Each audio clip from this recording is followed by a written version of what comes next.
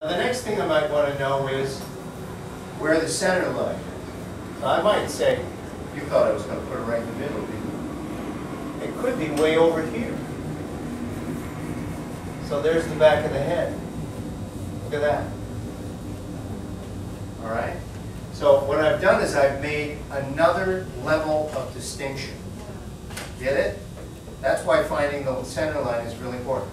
So there's this tendency to go on and do detail way too soon before you find out these fundamental things about what the subject is doing. Now, what the subject is doing is always relative to your point of view. It's relative to your angle.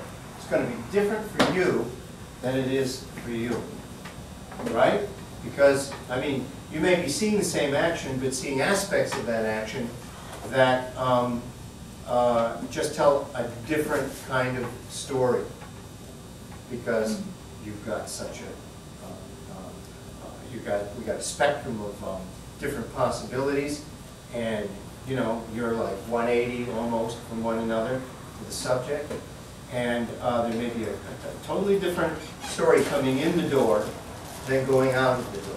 You could say she's going out of the door, and he's saying she's coming in the door. Those are two different stories, right? You both be right, but it depends on your relative position to those things. Does that make sense?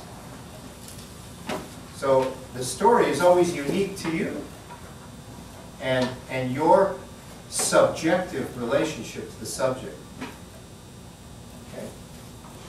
All right. So is this making sense then, this idea that we have a spine and, and that also gives us a sense of direction? Yep. Right, okay. So now we're moving from this kind of gut movement, analytical though it be. Um, it's a real quick analysis. Like for instance, I would have done that in maybe this drawing in probably 15 seconds, not three minutes or two minutes. Because I'm not talking it to myself. What I'm doing is I'm actually observing these things and taking the positions, getting them down. It's very direct. So it's almost physical from the gut.